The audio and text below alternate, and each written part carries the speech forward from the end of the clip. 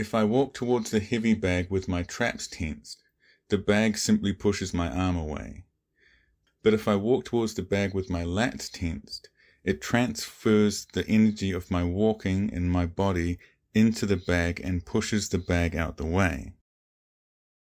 If I try and punch the bag with my traps tensed, I get a good wind up, but not much energy is transferred.